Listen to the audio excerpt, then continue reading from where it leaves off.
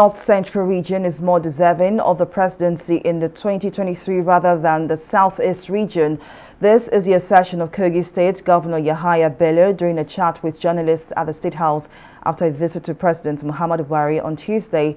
The governor, while speaking, explained that the North Central has been the most marginalized since 1960 when the country attained our independence. He maintained that the North Central has never produced the president or vice president of the country it was only fair that it produce the next president of the country in the 2023 general elections. The Kogi state governor also said that he has the qualities Nigerians want in a leader adding that the president would want a vibrant and patriotic Nigerian like him as his successor.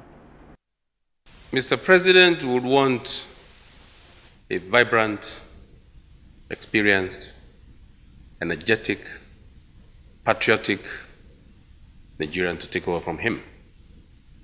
And in all of the qualities that Nigerians are yearning and looking for today, I possess all of these qualities by the special grace of God. Nigerians are yearning and asking myself to run for the president come 2023. And by the special grace of God, I will not turn down that offer. Also, Mr. President is one of the Nigerians, like I said, who would want a qualified person to take over from him. Coming from the angle of uh, North and South divide, then let us be very fair and equitable.